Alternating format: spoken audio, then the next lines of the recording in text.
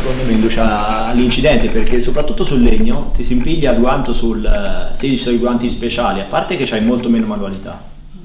E poi se impiglia il legno sulla una punta di un ferro, di una punta di un trapano a una colonna, come è successo a un mio amico, e gli ha spezzato il dito perché ha cominciato a girare il guanto intorno alla punta, cosa che la, il trapano a una colonna la, la, punta la puoi toccare, non, gira ma non ti fa niente. Certo. Lui invece gli ha preso il guanto, il guanto naturalmente ha cominciato a rotolarsi e ha spezzato il dito, gli ha tirato il dito dentro.